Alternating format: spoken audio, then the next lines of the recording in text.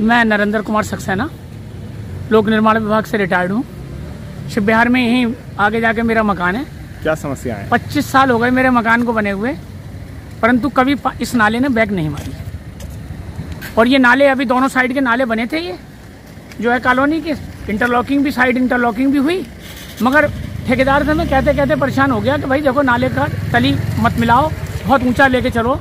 इसकी जो है इस नाले को इधर वाले नाले को जो है जो उत्तर साइड वाला नाला है, ये नाले की तली इतनी गहरी कर दी कि इसका ढाल प्रॉपर है ही नहीं।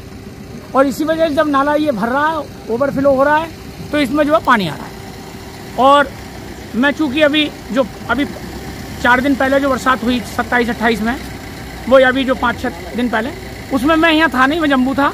मेरे बच्चों ने वीडियो भेजी, मैंने वीडियो जो है तत्काल जिलाधिकारी महोदय को, यो नगर पालिका को, और शहर विधायक को भी भेजी।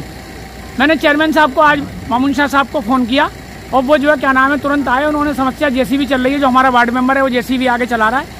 मेन कारण ये है कि एक तो नालों का ढाल है जो नाली बनी है अभी, और ये जो पुराना नाला है, जो आगे जाके पक्का नाला बना और सब बने, ये इनका जो है सुकोड़ दिया।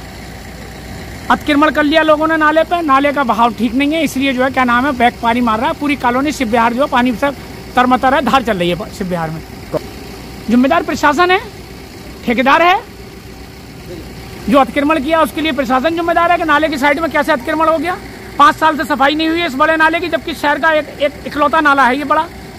जो मोरी गेट से आता है वही नाला है ये घोसियान में होते हुए। अब अब आज जो है वार्ड मेंबर ने दो दिन से तीन दिन से जेसीबी लगाई है। और हमारे चेयरमैन साहब के पति जो है मामून शाह खां वो भी आए। उन्हें भी मैंने दिखाई कि भाई धार की स्थिति ये है। अब ये है कि भाई दो चार छः दिन क्योंकि उन्हें भी अभी ज़्यादा लंबा समय तो हुआ नहीं शपथ लिए हुए नगर पालिका में। ये तो तत्कालीन जो पुराने लोग थे उन्होंने इस नाले की तरफ़ तवज्जो ही नहीं दी। अब चूँकि मैंने कही बेचारे तुरंत बारिश में ही आज ही आके उन्होंने देखा और अब जो भी उपाय होगा इसका देखते हैं करवाएँगे प्रशासन से मिलकर।